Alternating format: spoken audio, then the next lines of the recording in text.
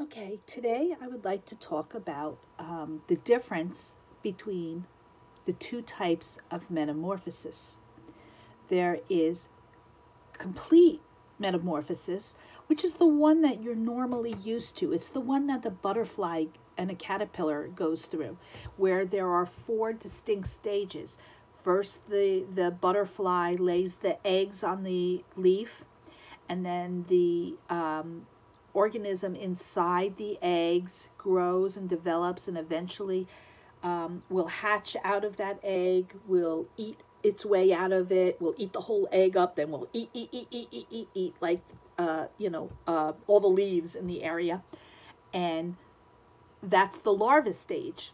When it Once it comes out of the egg, it is now a larva. It's the caterpillar stage.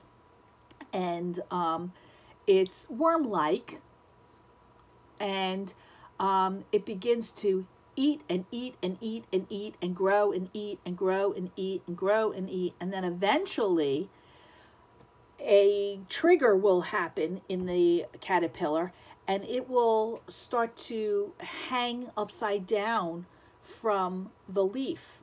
As it gets too big for its exoskeleton, it will start to, after it attaches to the underside of the leaf, it will start to rip apart the exoskeleton. And when the exoskeleton comes off, it will actually reveal the chrysalis, which where there will be lots and lots of changes inside where the whole organism no longer even looks like a caterpillar anymore. When it comes out of of the chrysalis eventually, it will be the butterfly. It will have the wings, it will have fewer legs, it will have antenna, um, and then the whole thing will repeat again. Okay, so the thing that makes it complete is there are four distinct stages, and each stage is very different than the one before it. When it's an egg, it just looks like an egg, a dot, a seed almost on, on the plant.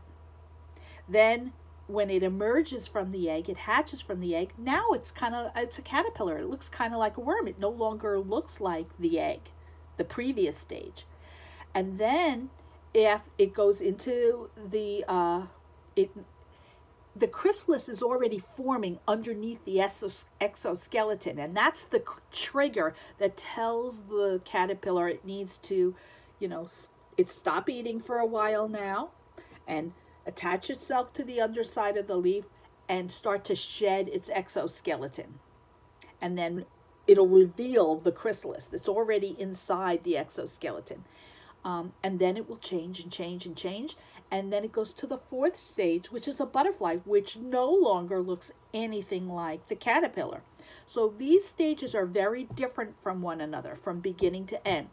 You can't look at those cat those um, eggs and know exactly what that butterfly is going to look like. That egg could be almost anything if you're just a regular person and you don't study bugs and leaves and things like that.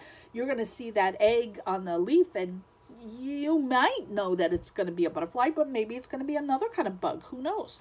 And when you look at that caterpillar, it looks nothing like the butterfly or the egg. So the stages are very, very different. Complete metamorphosis. Okay, so now incomplete metamorphosis. That's the damselfly. That was the video I had you watch about the damselfly. Now the damselfly starts out by, you know, the parent laying an egg. This time it lays the egg in the water. Usually it lays it under the water. It will encapsulate itself in an air pocket and so it can breathe. And then it will go down the stalk of a plant and it will, in the stem, it'll make a little hole and it will lay its eggs inside the hole in the stalk of the stem of the plant that, the, that it's laid them on to protect them from things eating it.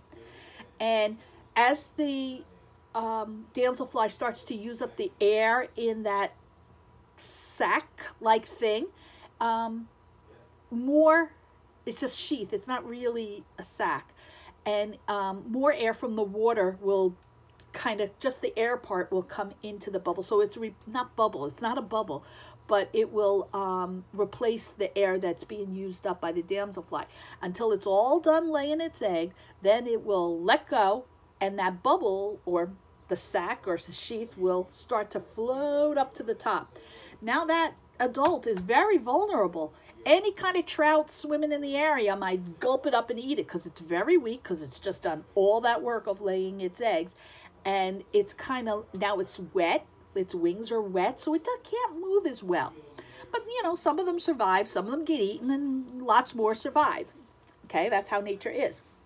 So now these eggs are inside uh, the stem of that plant, and eventually they will hatch.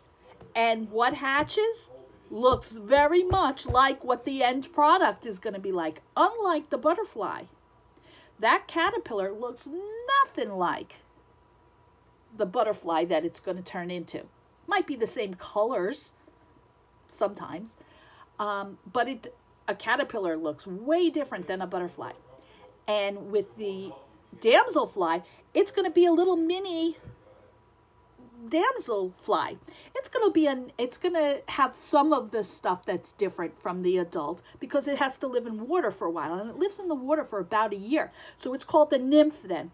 And what happens is the nymph for a while will keep its gills so that it can breathe in the air and it will eat and eat and eat and eat and eat and eat.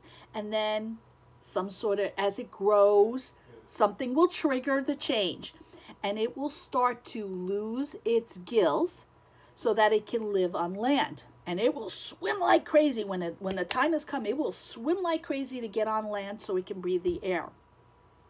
And it no longer is a nymph anymore and it's going to come out and it's going to attach itself to a leaf and its wings are going to start to dry out and fill up with fluid and they, ha they have to dry and they're very vulnerable. They can get eaten by birds or other insects or i don't know maybe even lizards or something like that.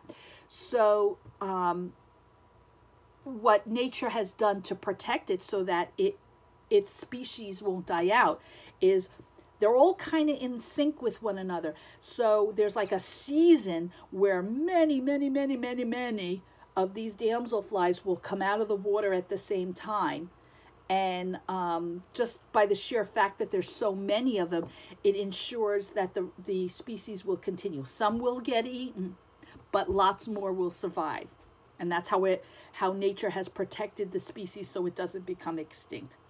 Now the difference is every step along the way. It will it will shed this nymph will shed its uh, exoskeleton and get a new one and it, this will happen over and over again but it always is gonna kind of look like the stage before it there's subtle little differences between this the um, the different molting that goes on between in the um, in the damselfly stage as a nymph but it looks a lot like it will when it's a grown up.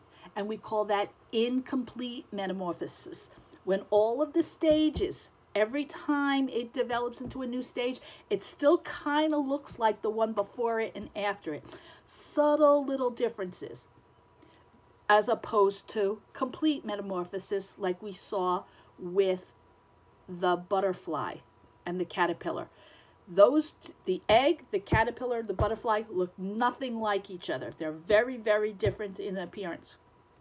With the damselfly once it hatches it looks like a smaller version of the grown-up. It doesn't look like a completely different organism the way a caterpillar would look like. It's a completely different organism than the butterfly